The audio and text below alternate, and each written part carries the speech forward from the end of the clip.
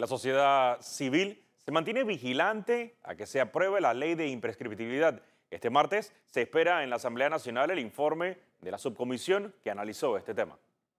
Y usted Para la sociedad civil, la presión ciudadana perforó a los políticos. Podemos ir arrinconando poco a poco a esos corruptos, eh, a esos políticos que, se han robado la vida aquí en, este país y dineros que han podido ser destinados para la educación, para la salud, para el transporte, para un sinnúmero de, de casos para tapar huecos en la calle, han quedado embolsillados. A concepto de juristas, es positivo que se puedan discutir los temas a profundidad. El debate gira en torno a las responsabilidades de los funcionarios y a las consecuencias que tiene infringir el papel o, el deber que tienen los funcionarios de custodiar los fondos públicos. Para los jóvenes, esta ley busca darle un golpe a la corrupción. Una corrupción que se ha convertido en un cáncer de nuestra sociedad, que se ha convertido en, en esa enfermedad que realmente afecta a tantos panameños.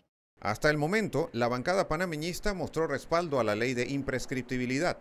Se desconoce si otros diputados apoyarán la iniciativa.